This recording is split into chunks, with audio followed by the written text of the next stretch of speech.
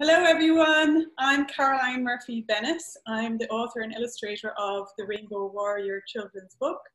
And as part of the children's book um, and the Rainbow Warrior World that I have online, we have a newsletter. And the newsletter is called A Question of Truth. Within this, I like to highlight um, companies that are are, are based around ethical design thinking, and that can be to do with um, anything that is holistic and that protecting and enriching of our planet, whether it's people or um, the environment. Um, so today we have um, Atlantic Aromatics uh, to as a spotlight feature for our December issue, and I'm really thrilled that. Ellen has uh, come here to have a little chat with us and to explain to us all about the beautiful products that they have to offer.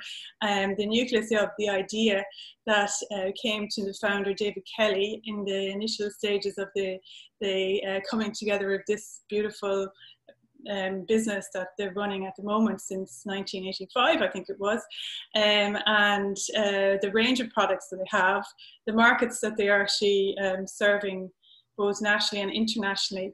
And uh, the farmers and the people that they're, they um, get their essential oils from around globally around the world. So, um, Ellen, it's lovely to meet you and Hi, Caroline. taking time out of your busy Christmas um, uh, market to, to speak to us. And um, I'd love to hear about, I suppose, to start off with, to you're an aromatherapist yourself as well, aren't you?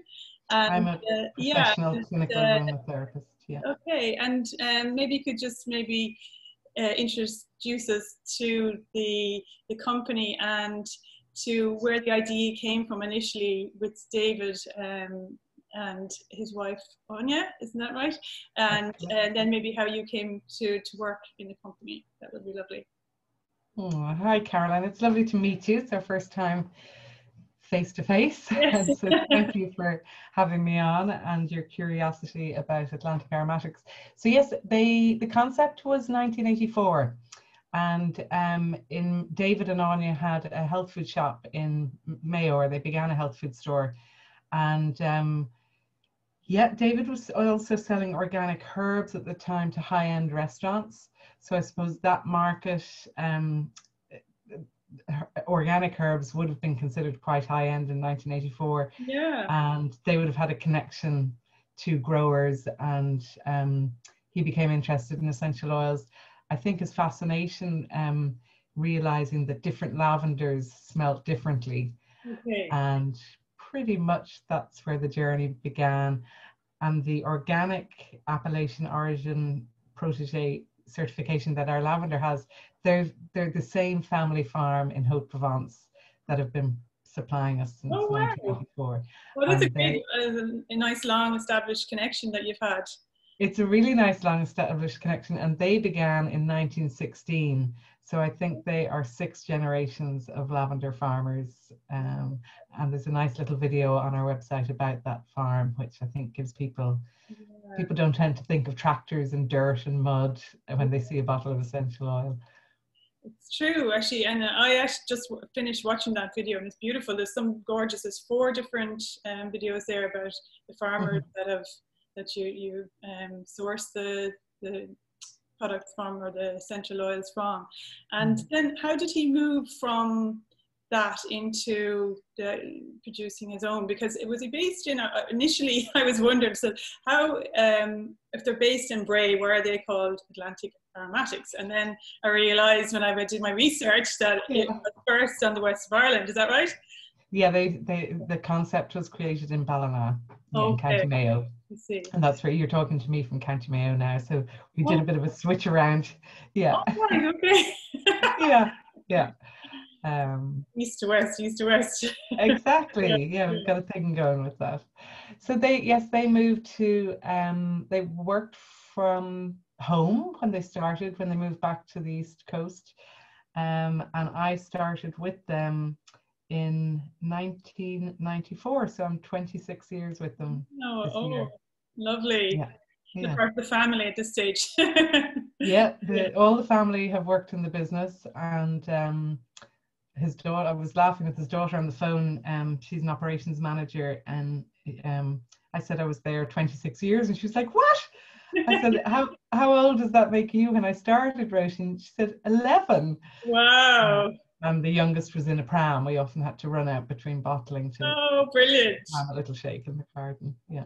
I love that. I love that. And then they started um, to, you know, notice that the the different qualities of the lavender. You said, and then they started to blend their own. Is that how the massage oils and um, the other products kind of came out of that?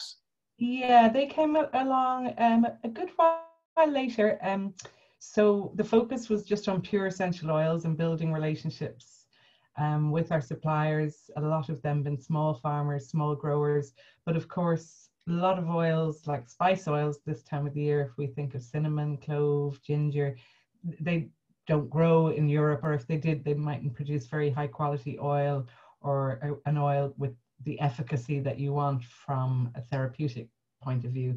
Yeah. So when you have to go further afield, like spice oils, we associate them with Asia, Madagascar.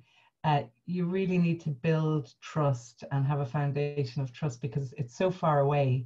Yes. Um, yeah, yeah. It's it's difficult. It's not like France that you can go and visit. Yeah. So in that case, um, we work with one or two co-ops. They would be based in maybe France, who took an interest in places like Madagascar, and there comes in the organic. People who tend to be farming organically tend to feel a connection with the land, yes. tend to feel a strong stewardship of the land, mm. and also a lot of the time the people who are working and farming that land. So you have different certifications like fair trade, fair for life, um, different ones. Our main certification is organic because it starts to get very costly to get every single certification over and over. Okay. Um, some companies, if you're buying and they are certified in their country of origin, your that the criteria will transfer to us here, which is super, and it lessens the expense.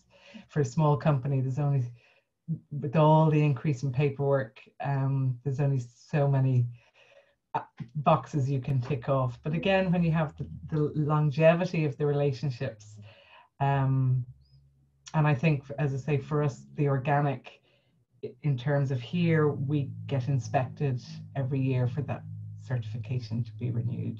Okay, so it's renewed every year. Okay, so the standards are kept very high. Yes.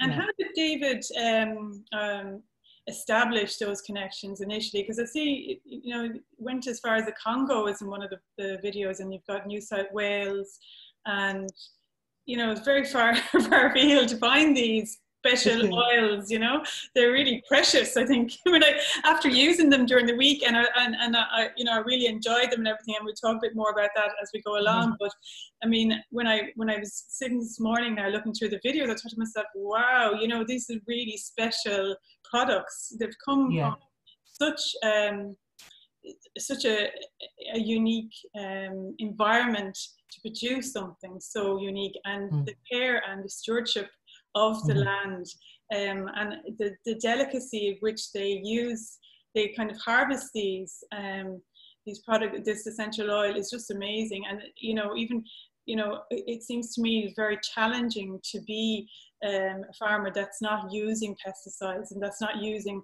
something that's harsh on the environment. You know, you can see how difficult it is for them to keep that standard high. And yeah. it is only through kind of a heart-centered approach to that stewardship that those those kind of um, products can be created. You know, and then yeah. I suppose your um, interest in that also has kind of drawn you to these people, which is a beautiful connection. So you're connected on the same vein of this kind of stewardship to the land, and you know that that's what I'm kind of interested in as well. In you know how can we be innovative around um, harnessing nature rather than harvesting, which is where mm. we have to go. You know, there's mm-hmm. we'll kind of come to the end of this, uh, you know, harvesting nature for, for our own good. We know we have to be steward, stewards of that and to produce products that are in line with nature and working in tandem with it. Mm. And, and, because they are, he, it's also,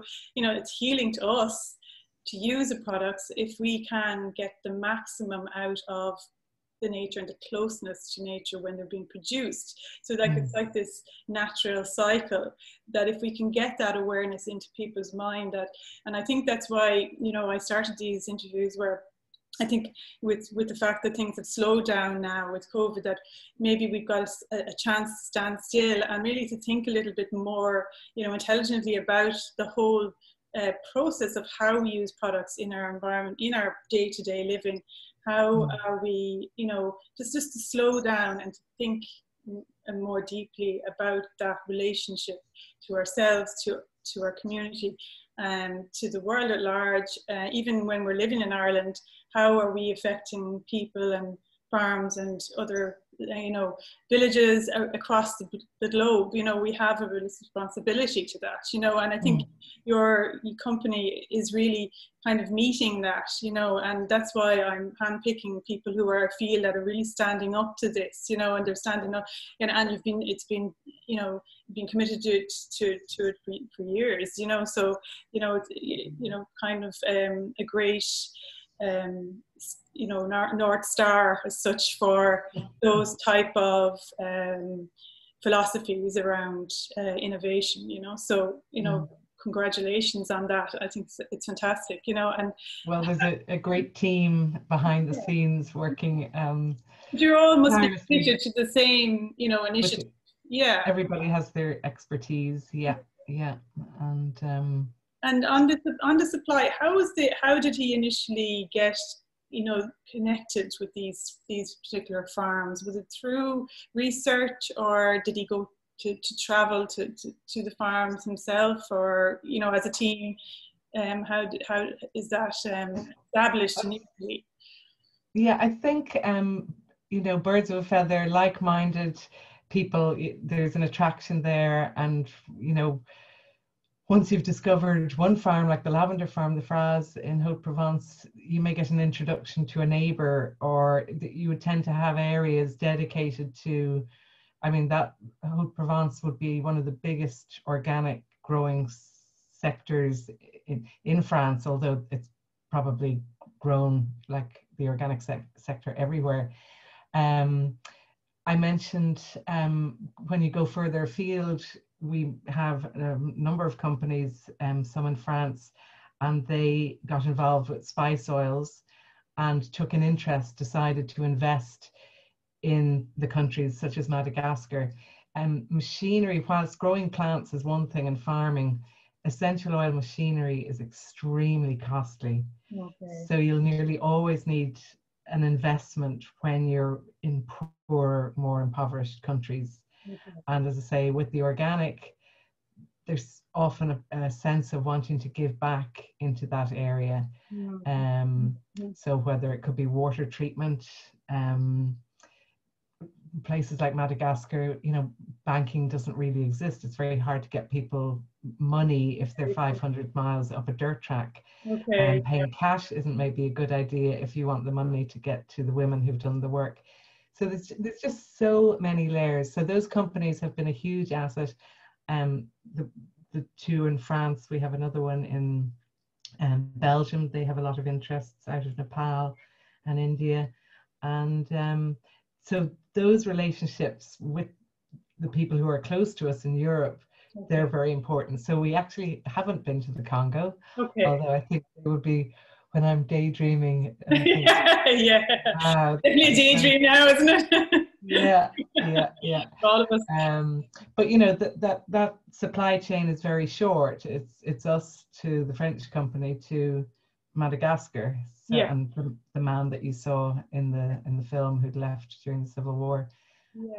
Um, so yeah, we, we would go to um, trade shows where we, we meet suppliers and then maybe that might be followed up with a visit. Mm-hmm. Um, so it's, uh, yeah, maybe you'll have to get David back on for an in deep, in depth. Uh, yeah, we'll have another interview. Uh, I think definitely. Globe trotting um, scenario. that yeah his his travels behind it and actually he, he does a lovely job of narrating it was david on one of them wasn't it uh, on the videos? Yeah. Yeah and the yeah. provence the, the, the video about provence. Um yeah so i i actually had the pleasure of using your your products this week and you sent me some gorgeous ones uh, especially for christmas which i thought were beautiful. The frankincense uh, blend that that's the, the massage oil mm-hmm. and um, we've got the winter magic which i actually have here burning beside me in uh, a little burner. Very nice caroline. very a, yeah we've had a gorgeous uh, winter magic scent all around the house. Um, they're, they're really gorgeous I, you know ideas for presents you know for christmas. And um, then I've unusually I, I, had started a course eight weeks ago on Ayurveda and mm. Ayurveda Centre in, in Ireland had uh, a free course and um, some of it was to do with massage and self-massage and self-care and all that kind of stuff.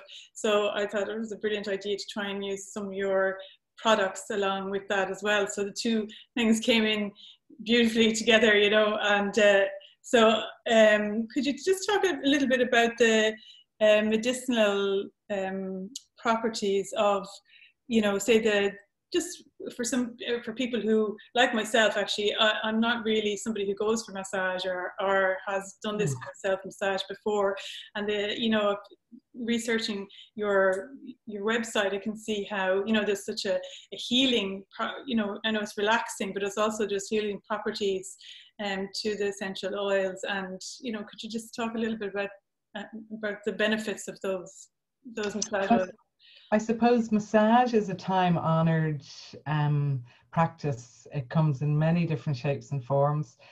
Um, just your basic applying a, an oil to the body, you're you're increasing um, blood flow, you're assisting the lymph. We know the lymph is very responsible for keeping our, our bodies ticking, keeping our bodies detoxed. It doesn't have a pump on its own, so it does rely on movement. Um, just the absorbing of the oils through the skin um, it has a direct effect on the texture of the skin, the health of the skin, but also in terms of um, just a wellness. We know that all kinds of increase in, of circulation is going to be additional to good health. Mm-hmm. Um, there's a sense of touch that mm-hmm. can be can be very important. Whether, as one um, practitioner said to me recently, we're not hugging, so if, yeah. if, you live by yourself or you're not in a family or you mightn't be married and um, you know even giving yourself the odd little squeeze yeah. Um, yeah. that you know it's a, a, natural a natural thing um, so the the essential oils all have different properties uh, you'd nod off to sleep if i started saying yeah. this, that this is good for that you mentioned the frankincense massage yeah. Yeah so um, frankincense would have an association with uh, a spiritual association. It's often used in ceremonies.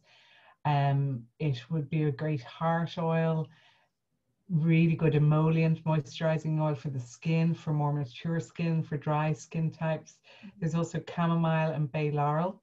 Mm-hmm. And these were created by Atlantic Aromatics in Ireland um, in association with um, one of the leading schools of aromatherapy, OBUS, mm-hmm. OBUS. They're based in Dublin. And they are in cold pressed, unrefined vegetable oil. Okay. Um, and there's no additives or preservatives or alcohol. So, in a commercial way, um, the sense they have a relatively short shelf life, Caroline, okay. but that's because we don't want the preservatives. Yes. And we don't want a refined vegetable oil. When we use an unrefined vegetable oil, it has all of the vitamins and omegas, which is helping to feed our skin. Yeah. Once an oil is refined, all of those things are generally lost from the product. Mm-hmm. So you can't we can't have our cake and eat it. We can't have a product sitting in the bathroom for six years and expect it to be natural. Exactly, but it, it lasts for about six months. Is that right? Six months, six months to a year. So a light year, yeah. and heat are the enemy of vegetable oils and essential oils. So keep them, don't put them on a sunny window ledge. Okay. Uh, keep them in a cupboard or maybe in a, buy Mm. yourself a nice box to keep your oils. So you'll see it been said, keep them in the fridge. Ireland really doesn't tend to have temperatures um, necessary to, but if you're, if they were under a Velux window, it's going to get warm in the Oh. summers. Yeah, so just like in a press, just with the door closed, and, in- so dark. Yeah, just You know, it's about your little go-to self-care box. You could, Yeah. you know, And if you're, I, th- I think if you're in a practice of, you know, doing those uh, self massages, I think you probably go through them pretty quickly anyway, you know, because see it's more, I was trying it up during the week and, uh, you know, just, you need quite a bit to, to um, cover the, the whole body, we'll say, you know, and I think if you got into a, a practice of it, you know, I don't think you have to worry about too much. It's I suppose, we got to cover our presence. Sometimes we have that, we have that, um, you know, thing about like like candles eh, you know you, you leave a bottle up there for a year and just because you like the look of it and then you forget to use it you know so i think it's a great time for people to just say no i think it's time to use these things you know and just to well, kind of it's like buying the, you know, indulge the uh, yourself you know when we can't do anything else or buying the detox product and saying, well, there's that's that that's the detox done. exactly Or yeah it's up there in the kitchen yeah yeah the, the big bowl of fruit and the big bowl of fruit isn't getting eaten. But. Caroline, can I just add, did you get the unboxed frankincense? i did yes uh, So um, we have recently just um, done a uh, unpackaging, contrary to other companies, yeah yeah and we have got rid of the boxes okay and we have funked up the labels. okay And um, so this is cutting down on waste. We've been Yeah. able to reduce the prices a little bit. And I don't know, I have a screenshot of the range. I'm not sure if it's possible to. if you could send it to me i can put it into the, in, onto the newsletter uh, and Yeah, yeah. So they're really bright, funky, cheerful labels. oh brilliant And they all retail at 9.95, except for the frankincense, which is 13.95, and the neroli, which is a blend for pregnancy and stretch mark, it is 18.50. Okay, brilliant. So this is brand new to the. Yeah. So I'm, I'm sorry, I, you got a, you got a bottle of the new new labels before I did. Oh, fantastic. Okay, so this is a reveal then. Okay. Exactly. It's a, people have so much going on at the moment. We just did a soft launch launch, and uh, we'll make a bit bit of a fuss about them in the new year because I think it's quite timely to be getting rid of. Yeah, and I see a lot of people were doing the kind of the unboxing with all, the, uh, you know, the brown paper boxes with the brown um, packing, you know, the kind of uh, paper packing, which is lovely to see as well, you know, because it's like that. There's a chance. Guys, you just can tie a little bow around them. Yeah, exactly. You don't. There's no need for them. They're, they're, they're very robust. The bottles as well, aren't they? You know, they're quite thick um, glass, Yeah. which you know they're, they're they don't need a lot of packing. You know, um, and for myself, I bought, uh, and I know I'm actually aware of your products for years. I mean, they they're very much part of any. Um, you know, health food shop when you go in, you know, they've got a great presence and uh, it's lovely to get a chance to, to chat to you now. But um, I had purchased mine in the local Nourish, and uh, but I know that you also are your, your supply wholesale as well. Is that correct? To to to, um, aromatherapy or spas, or do you? Yeah, our, our main business, we are blessed with a very vibrant health food industry in Ireland. We really are. And I've been blessed for best part of 22 years to be traveling every corner of Ireland to visit. There's so many dedicated independent Irish health stores. Um, they're a treasure trove, and I'm such a nerd. If I'm on holidays, I have to go in Yeah. to the local health store, even though I know I'll probably meet um, an owner or a manager Yeah. who wants that. Same when I'm abroad, I always have to seek out the local health store and see what they have. Um, so Ireland would be, yeah, our, our, our dedicated loyal customers, um, and in turn their customers. We have a number of stores in the UK.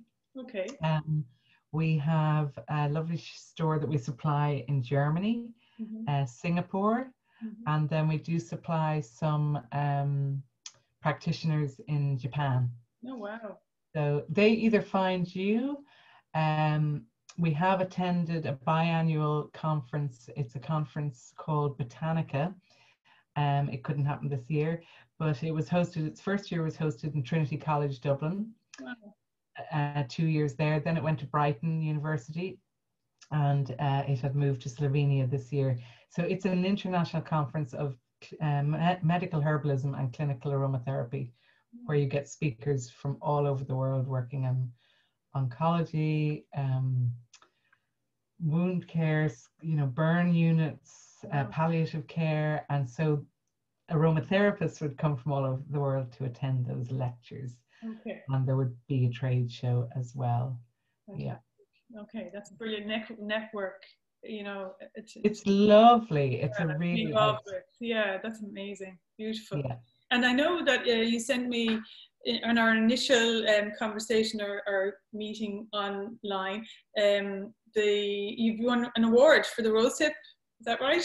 It was voted best body care award for 2020 by the Irish retailers. So that was really, Excellent. as a grassroots award, um, we're very honoured. I don't know if you're aware, I have only been made aware in the last 10 years, a lot of awards, you have to pay a lot of money yes. to enter them. Yeah, yeah. And that's just not part of our culture. Um, we don't have those type of deep pockets yeah. So uh, to get a genuine award like this that we didn't have to pay to enter was really that's amazing. It, it, it means more nearly, doesn't it? You know, yeah. It does, yeah, and it's a beautiful yeah. product. I mean, yeah. it, whilst people will recognize um, a lot of what we sell as cosmetic ingredients, they're not cosmetics insofar as we we're not formulating cosmetics, which which is a whole specialty. Mm. So mm. it's a bit like by analogy you would be buying a chicken korma in a jar. it's nothing wrong with it. Yes. Uh, or you go in and you buy this 12 spices and you buy the coconut milk or whatever other ingredients and yeah. you make it yourself. They're two different things. Yeah. So um, this rosehip seed is a cold, low temperature uh, extract which keeps all your carotenoids and your transretinoic acid and your omegas. Um, there's nothing done to it it's extracted, yeah. sent to us, we bottle it. Wow. Um, so uh, that's why we can sell it at 10.50 for a 20 ml bottle. Yeah, yeah. Um, and tell me about you know the uses of it because I was particularly interested in it myself for you know you know your skin, your um you know I've got kind of some uh, very much Irish skin, fair, and it you know it, it can flare up and it doesn't like heat, it doesn't like cold, it doesn't, it doesn't like much, you know. So there's a yeah. lot of kind of redness and stuff in my skin, and uh, so I was interested. I was really interested in this and how you advise people for you know Irish skin and maturing skin. Um, mm-hmm. Would that is it something that you use once a day, twice a day under your moisturizer? You know, how I suppose it? everybody's different. Yeah. Um, and I think Irish skin um, defies um, all kinds of expertise. yeah. Go into 10 shops and come out with 10 products and not be able to wear any of them. I know, um, yeah, yeah. I think you just described my skin perfectly there as well, Caroline. So um, I, it is quite an orange color. Yeah. But that is our carotenoids, which is, you know, what's naturally feeding the skin. Yeah. So putting it on at night, you may stain your pillowcases. Okay. So I prefer to put it on straight after a shower, okay. and then I tend to pat it off gently because you, if you if you're getting dressed and moving quickly in the mm. morning, and then if you want to put on a tinted moisturizer or your foundation over that, a lot of makeup artists say they really like it because it evens out the, the yeah. orange pigment evens out the skin tone now you're it's not going to permanently stain the skin but mm. some people can get a bit of a surprise when they see how orange I didn't notice that myself. I, mean, I knew it when I put it out, but I didn't see it in my skin because I, even though I have fair skin, it can kind of be darker than normal. It's unusual. Yeah. Between my mother and my father, you know, she's dark and my dad's fair, so it's kind of a bit of both. But yeah. um, and would you put a moisturizer over it or just on its own? You don't need a moisturizer you with could it. Put a tinted moisturizer over that, yeah. or foundation, or, or nothing yeah. at all. I've I send it out by the truckload to um, some friends in Austria, and she has all her friends converted, and they have lovely Mediterranean type skin. Oh, um, gorgeous! Yeah, no any uh, yeah, and so she loves it. She doesn't wear any makeup. She just uses the rosehip. Well, she could give a lovely glow to your skin if you had darker skin as well. You know. Um, yeah, and think with our central heating and the cold weather, it's really tough. And this makes um, a really good food for your skin. So yeah, yeah, beautiful and lovely present for somebody as well. You know, because mm. you know we often don't go in and treat ourselves to things like that. And I think it would be a lovely gift for you know sister, sister-in-law, or you know good friend. Um, and another product, one of your products that I was using, I actually loved the the multi-use of this lemon myrtle oil that mm. you had suggested with it on your website different uses. So on the last interview I had done with uh, Pam Free, um, Pam Free, mm. I was talking about the sponges that I just have a thing aversion to, and you had said to maybe put a little bit onto the sponge or onto the cloth that you use, and I just it's fantastic. Uh, I mean, this even the scent around the the basin area it, it, has changed completely and i use it within the, the fridge as well so you maybe could mm-hmm. put a tiny bit on the cloth and clean out the fridge in the car and all these different areas and just gives you such a lovely aroma and so light and kind of uh, fresh freshening you know kind of brings it's not it clawing like yeah. the synthetic aromas what i might add is light you know hmm? it's not being light yes yeah yeah, yeah. Um, and most people are, are attracted to, um, I call them my uh, sunshine soldiers. So your all of your citrus oils, um, lemon, orange, mandarin, bergamot, especially at this time of the year, they take um, bucket loads of sunshine to produce them. So it's, I think they give a lot in our climate.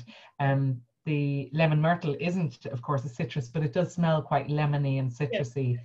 And just to be mindful, um, in terms of your skin, essential oils can cause irritation. Okay. So using them, I would wear rubber gloves like that in the kitchen. Okay. Um, and they can also uh, degrade certain materials. Okay. So just to be mindful of, you know, I wouldn't be um, lashing them in in places where there's plastic. You know. So yeah.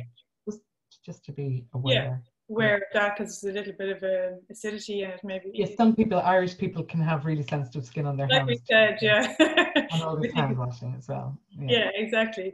Okay beautiful. And uh, i'm just seeing what else we have the rose water. You know in the last issue my daughter lauren she tried and tested your rose water. I was trying to get her uh, interested into natural products you know um, she she loves you know anything that's um any you know all the the um, cosmetics and you know moisturizing and stuff. She's got in she's 15 and she's after getting really into all that kind of thing. So she uh, could you she loved the product. She thought it was beautiful. And actually i didn't realize as well she was saying you could you spray it on your pillow at night. Mm. That's another use for it. Yeah, so she had kind of known about this, which I, I'm really learning a lot from these interviews and these products. And and how um, would you advise people using your waters? Because that's another product that you have available. Yeah, that rose water is waters, from. Um, hmm? They're floral waters, you call them. Floral waters. So they yeah. generally are a byproduct of distillation of the essential oil. However, this farm, this family farm, has specialized in rose in Bulgaria. Um, oh, I think they're three generations, and that rose water isn't a byproduct. So they don't take any rose oil off it.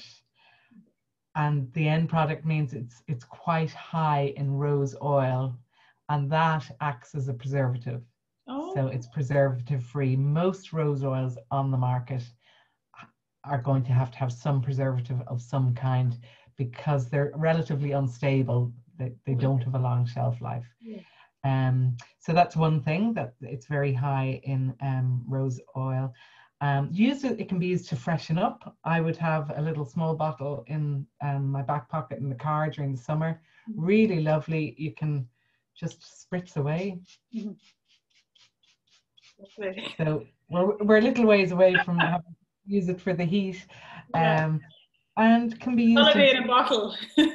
yeah, can be yeah. used in skincare. Um, so before um, moisturizing or after cleansing. Yeah. Yeah. Gorgeous. Another lovely little kind of gift for somebody as well, I think, you know. Um, mm. And a nice big bottle as well, lasts a, a long time, you know. It's, yeah. yeah. We have a, a, travel size as well. It's okay. half that size, so that's handy for the summer months and maybe a holiday or two. we have to we have to create these lovely experiences ourselves in our home now, you know, which is yeah. we have to be creative, don't we? and um, just on the, the design aspect of it, I was wondering about um, the, the logo and the is it a seed or is it a bird? It's a bird. It's a bird. Okay, and is there any significance to, to that?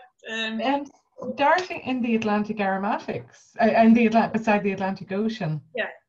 I was just yeah. wondering. Sometimes there's kind of symbol symbolism within logos. I was wondering, was there anything um, symbolic in the in the bird? I think it. I'll have to check with David. I think it could be um, a dove. Oh yeah, this one looks like me. Yeah.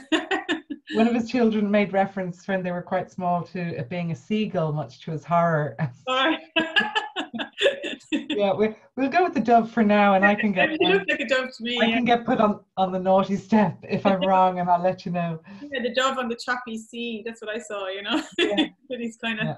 yeah. he's a pioneering, you know, in this new in this uh, this field, um, mm. and that's wonderful. So, and how are you finding, um, you know, business since COVID hit you? Have you, you you know, is it very challenging at the moment, or you've had very, you know, established companies, so maybe Yes, we've we've made we or David has made reference to thank goodness we are so well established yeah. during something like this. Um, we've been blessed because the health stores are able to remain open um, as essential services. So they have had a long couple of months. Uh, I know everybody's so grateful to have been in a position to be able to have kept working.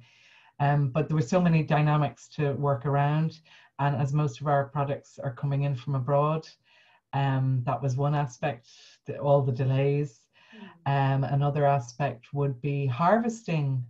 And um, this year was particularly difficult for farms. They had to work around, you know, large groups of people operating in very different ways. And some, you know, some crops you can't say, oh well, we'll wait another month and we'll harvest it then. Yeah, yeah. Too late. Crops, it's it's it's ready for harvest. It has to be distilled. You can't wait um, and, and, you know, and there's a very tight season for for for some crops. So um, yeah, it's been a very very busy year. Yeah. And as I say, we're just so grateful for all our um, our customers, both retail and um, suppliers. Yeah, they've done a great job we're just finishing up at 40 minutes now, so I'll, mm. I'll say thank you very much um, for taking time out, and I uh, wish you the very best um, for Christmas and going forward in into the the new year. And uh, you know, it's a, a beautiful uh, company with some stunning products that I think everybody will enjoy. And I think um, they're a great investment in your own self care and um, you're supporting beautiful uh, enterprises across the world and communities and uh, farms um, that are sustainable and eco friendly. So it hits a lot of marks. So um, I'd say thanks very much to you, Ellen, and uh, best of luck for Christmas and best of luck for the new year. Thanks, Caroline, and thanks for your interest and the best of luck with your book. Um, and I believe you're doing some more writing. So uh, yes, that's right. I have a poetry book uh, on the way. So it's called well, uh, Declare a Republic. So it'll it'll be uh, available on Amazon in the next couple of weeks, hopefully. So yeah, well, I hope the essential oils and aromatics bring you um, lots of free freeness in your writing. Lots of inspiration. they have already. Yeah. Thanks yeah. so much. Wishing you a lovely festive season, Caroline. Thank you, Ellen. Bye. Take care. Thank you. All the best. Bye bye.